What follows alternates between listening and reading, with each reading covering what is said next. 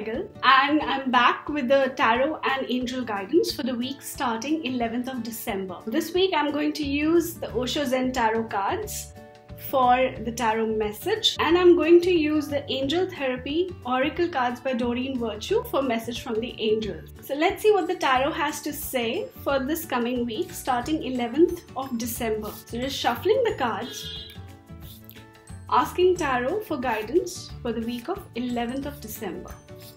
I'm going to spread the cards and pick one card out. So the card for this week is Princess of Air, Mind. I know the card looks a little disturbing. This card basically is it's not a bad thing, it's not a bad sign. It's actually a good sign because this brings into focus that we are going too much into the mind. This week you may find yourself thinking too much or doing a lot of mental work, thinking about things, thinking about trivial things, thinking about important things but the point is, there's a lot of thinking happening and not enough action happening. Now, you have to understand the difference between thinking and contemplation. Contemplation is you're actually thinking of things to do, how you can solve a problem.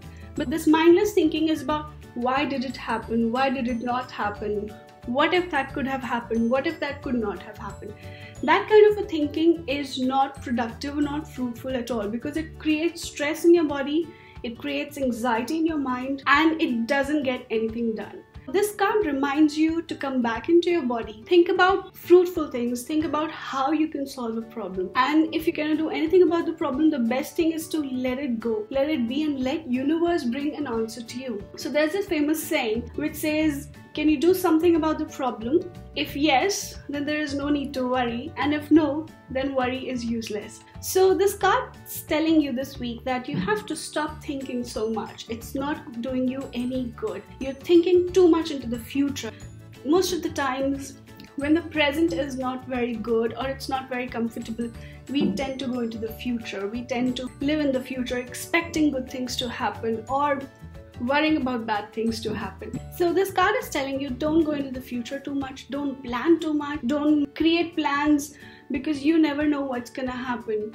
Things may go your way, things may not go your way, and that's how life functions. So this card is also telling you to accept what is and do things as they come. You know, improvise, be spontaneous. It's about being spontaneous. It's not about planning to do this or do that. It's about being spontaneous in this moment. What does this moment require? What does this moment require me to do or to be? And do that, go ahead. Also, this card is telling you that you've been processing things a lot. Probably right now, it's time to let go of the past and just be in the present moment because the more you think about what happened and why it happened it's about asking whys why did that happen why did that not happen that is not going to help you in any way possible the best answers for the questions of whys come with time you have to give yourself time for those answers to come the best thing that you can do right now is just let go live in this moment, be spontaneous. So that's the message for the week. Let go and be spontaneous. Go with the flow. Don't think, don't plan, be spontaneous. So now we are moving on to the message from the angels and we're going to shuffle the deck asking angels to give us a message for the coming week.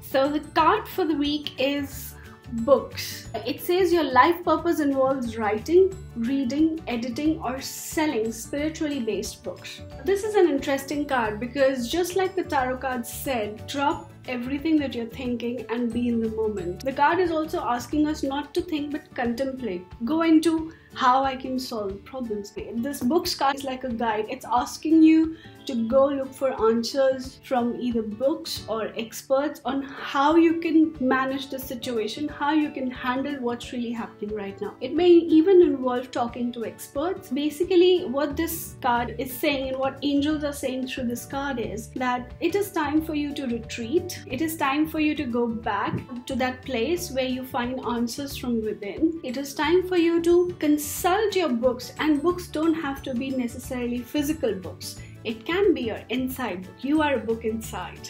So go inside, consult yourself, talk to yourself. You are the best advisor because you have a life experience which you have experienced and which you have gone through and you know it better than anybody else. So go back, consult yourself. It's time to read, study, contemplate. It is not a time to take any major actions or decisions because anything that comes would be coming from a place of worry or anxiety instead of coming from a place of peace and love. So it is time to calm down and go back to your drawing board.